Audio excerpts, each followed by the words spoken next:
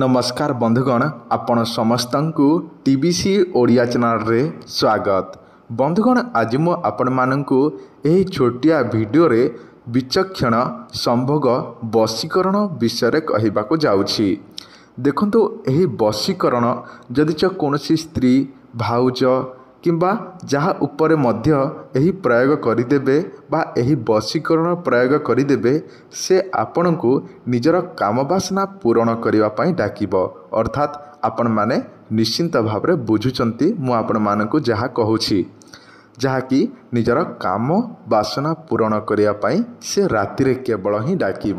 ଯଦି ଆପଣ କୌଣସି ଝିଅ ବା ସ୍ତ୍ରୀଟିକୁ ପ୍ରେମ କରୁଛନ୍ତି ସେ କାମ ବାସନା ପାଇଁ ମନା କରୁଛି ନିଜ ସହିତ ମିଳନ କରିବା ପାଇଁ ମନା କରୁଛି ତାହେଲେ ଏହି ବଶୀକରଣଟି ତାହାରି ଉପରେ ପ୍ରୟୋଗ କରିଦିଅନ୍ତୁ। ଦେଖିବେ ସେ ଆପଣମାନଙ୍କୁ ନିଶ୍ଚିନ୍ତ ଭାବରେ ଡାକିବ ହିଁ ଡାକିବ ରାତ୍ର ସମୟରେ ଯାହାକି ନିଜର କାମ ବାସନା ପୂରଣ କରିବା ପାଇଁ। ଦେଖନ୍ତୁ ଏହି ବଶୀକରଣ ହୋଇପାରେ ଖରାପ କିନ୍ତୁ ଆପଣମାନେ ଯଦି ଚ ପ୍ରେମ କରୁଛନ୍ତି ନିଜର ସମ୍ପର୍କ ବଢ଼ାଇବାକୁ ଚାହୁଁଛନ୍ତି କାମ ବାସନା ପୂରଣ କରିବାକୁ ଚାହୁଁଛନ୍ତି ତାହେଲେ ଏହି ବଶୀକରଣ ନିଶ୍ଚିନ୍ତ ଭାବରେ ଥରେ ମାତ୍ର ପ୍ରୟୋଗ କରିଦିଅନ୍ତୁ। ସେ ଆପଣମାନଙ୍କୁ ନିଶ୍ଚିନ୍ତ ଭାବରେ ରାତିରେ ପ୍ରତିଦିନ ଡାକିବ ହିଁ ଡାକିବ ନିଜର କାମ ବାସନା ପୂରଣ କରିବା ପାଇଁ। ତ ଚାଲନ୍ତୁ ମୁଁ ଆପଣମାନଙ୍କୁ ସେହି ବିଚକ୍ଷଣ ସମ୍ଭୋଗ ବଶୀକରଣ ମନ୍ତ୍ର ବା ବଶୀକରଣ ପ୍ରୟୋଗ ବିଷୟରେ କହୁଛି। ଏହି ଭିଡ଼ିଓଟିକୁ ଆପଣମାନେ ଯଦି ଚ ଏବେ ପର୍ଯ୍ୟନ୍ତ ଲାଇକ୍ କରିନାହାନ୍ତି ସମସ୍ତ ଲୋକ ଭାଇ ଭଉଣୀ ସମସ୍ତ ଲୋକ ଭିଡ଼ିଓଟିକୁ ଲାଇକ୍ କରନ୍ତୁ। ତା ସହିତ ଆପଣମାନେ ଏହି ଚ୍ୟାନେଲଟିକୁ ନୂଆ ଦେଖୁଛନ୍ତି ତାହେଲେ ଏହି ଚ୍ୟାନେଲଟିକୁ ସବସ୍କ୍ରାଇବ୍ କରିକି ପାଖରେ ଥିବା ବେଲ୍ ଆଇକନ୍କୁ ପ୍ରେସ୍ କରିକି ରଖନ୍ତୁ ଯାହାଦ୍ୱାରା ଏହି ଚ୍ୟାନେଲରେ ଯେତେ ମଧ୍ୟ ନୂଆ ମନ୍ତ୍ରଯନ୍ତ୍ର ତନ୍ତ୍ର ବିଷୟରେ ଭିଡ଼ିଓ ଆସିବ ଆପଣମାନଙ୍କୁ ଶୀଘ୍ର ପହଞ୍ଚି ପାରିବ ତ ଦୟାକରି ଏହି ଚ୍ୟାନେଲଟିକୁ ସବସ୍କ୍ରାଇବ୍ କରି ଭିଡ଼ିଓଟିକୁ ଲାଇକ୍ କରିଦିଅନ୍ତୁ ବର୍ତ୍ତମାନ ମୁଁ ଆପଣମାନଙ୍କୁ ସେଇ ବଶୀକରଣଟି କହୁଛି ଧ୍ୟାନ ଦେଇକି ନିଶ୍ଚିନ୍ତ ଭାବରେ ଶୁଣନ୍ତୁ ବନ୍ଧୁଗଣ ଏହି ବଶୀକରଣ କରିବା ପୂର୍ବରୁ ଆପଣମାନେ କିଛି କଥା ଧ୍ୟାନ ଦେବାକୁ ପଡ଼ିବ।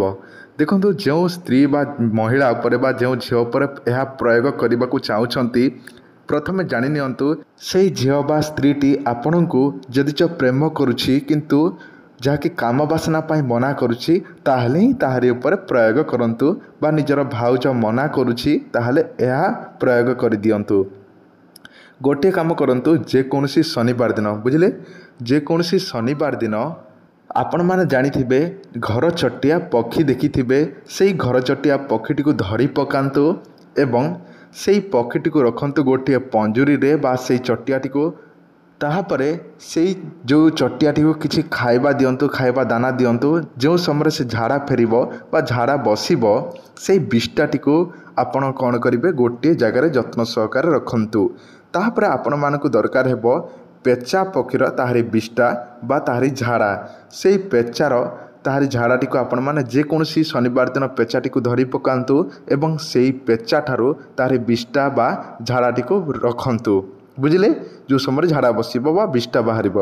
ତାପରେ ସେଇ ଦୁଇଟି ବିଷ୍ଟା ଯାହାକି ଘର ଚଟିଆ ଏବଂ ପେଚାର ତାହାରି ବିଷ୍ଟାଟିକୁ ମିଶାଇ ଦିଅନ୍ତୁ। ତାହାପରେ ଯେକୌଣସି ଗୋଟିଏ ଯାହାକି ପାନ ଦୋକାନକୁ ଚାଲିଯାଆନ୍ତୁ ଏବଂ ଗୋଟିଏ ମିଠା ପାନ କିଣିକି ଆଣନ୍ତୁ ଏବଂ ସେଇ ପାନରେ ସେଇ ବିଷ୍ଟା ଯେଉଁଟାକି ଚଟିଆର ଏବଂ ପେଚାର ବିଷ୍ଟାଟିକୁ ଦେଇଦିଅନ୍ତୁ ଗୁପ୍ତ ଭାବରେ।